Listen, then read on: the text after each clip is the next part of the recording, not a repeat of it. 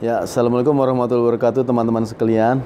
Nah, video ini merupakan jawaban atas pertanyaan-pertanyaan dari teman-teman yang ada di Instagram, dari sosial media Pasar Modal Syariah yang tanya tentang short selling. Nah, kemarin banyak yang bertanya, apa sih short selling itu? Short selling merupakan bahasa sederhananya adalah kita melakukan aksi jual tapi kita belum ada barangnya dan untuk menjual itu kita minjem barang dari sekuritas. Istilahnya gitu. Tujuannya apa? Tujuannya kita berharap harga pada saat nanti kita beli lagi itu lebih murah daripada harga sekarang. Contohnya gini misal saya punya saham A bukan saya punya saham A saya mempunyai, mempunyai prediksi saham A yang harganya sekarang adalah Rp2.000 nanti akan turun menjadi saya tidak tahu menjadi 1000 atau 1500. Nah, untuk saya mendapatkan keuntungan itu, saya melakukan aksi jual atas saham A tersebut seharga Rp2.000. Kalau menjual seharga 2000, berarti kan saya harus meminjam meminjam barang dari sekuritas, kemudian dari pinjaman barang tersebut saya jual kepada market. Nah, dijual 2000 karena saya harus meminjam, berarti saya harus mengembalikan, kan begitu teman-teman ya. Nah, saya karena punya prediksi lebih rendah dan tiba-tiba ternyata prediksinya benar. Harganya turun, yang harga sahamnya tadi 2000 menjadi harganya 1500 misalnya. Kemudian saya beli di market, kemudian saya apa namanya? Saya kembalikan saham tersebut kepada sekuritas.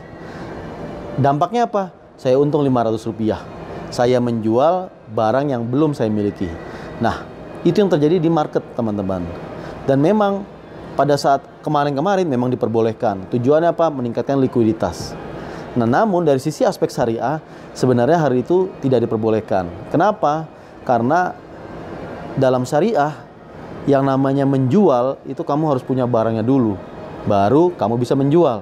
Kalau kamu menjual barang yang kamu tidak miliki, itu dilarang. Nah, oleh karena itu istilah namanya short selling itu dilarang.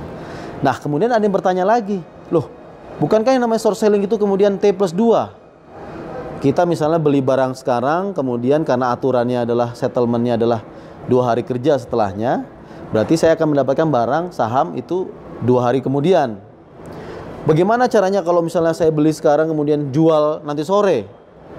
karena sekarang pagi misalnya jual nanti sore boleh nggak itu sebenarnya bukan isu tentang short selling teman-teman itu isunya adalah tentang kepemilikan dalam syariah itu yang namanya kobat hukmi dan kobat hakiki. Apa maksudnya kobat hukmi? Kobat hukmi adalah kepemilikan secara hukum atas suatu barang. Kobat hakiki adalah kepemilikan barang tersebut secara real. Nah apa maksudnya? Sekarang di bursa ada aturan T plus 2 yaitu kalau kita beli hari Senin barangnya, saham hari Senin, kita akan dapat barangnya atau sahamnya hari Rabu. Begitu teman-teman. Nah, kalau saya beli saham di hari Senin, itu artinya kepemilikan saham secara hukum itu sudah milik saya. Walaupun secara kobat hakikinya saya akan dapatnya hari Rabu. Nah, karena kepemilikan secara hukum adalah milik saya pada hari Senin, boleh dong saya menjual karena saham saya sudah miliki di hari Selasa. Itu nggak ada masalah. Begitu mungkin sedikit uh, penjelasan terkait dengan short selling dan penerapan dari T plus 2. Nah, buat teman-teman yang ingin bertanya, silahkan komen lagi di bawah dan kami insya Allah akan menjawabnya. Terima kasih. Assalamualaikum warahmatullahi wabarakatuh.